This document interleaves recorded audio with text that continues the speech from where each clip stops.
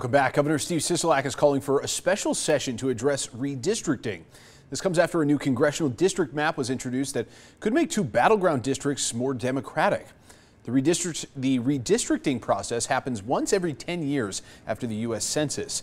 Governor Sisolak is calling on lawmakers to discuss redistricting during a special session tomorrow at 1 p.m. And today, Nevada State Assemblywoman uh, Republican Robin Titus released the following statement on tomorrow's special session, saying, quote, we are a true swing state with 38% of voters who do not identify with the Democratic Party or Republican Party. The increasing trend of nonpartisan voters will continue for the next decade to come. A 4% Democrat advantage in voter registration is not grounds for supermajorities in both chambers.